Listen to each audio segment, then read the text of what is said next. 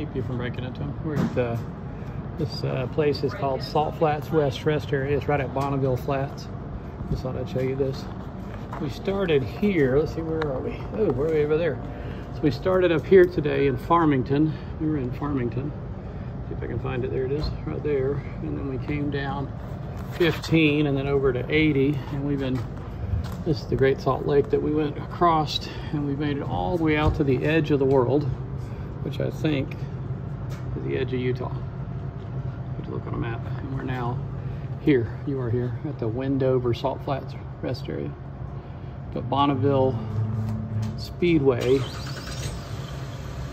is right over here to the left. That's what I've been looking at.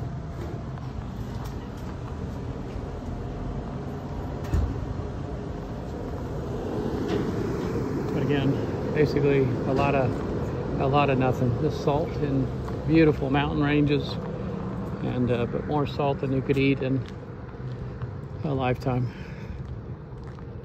But again, it uh, even says there's a plaque that says "Welcome to Bonneville Salt Flats," which is where they do the the official speed uh, records out here.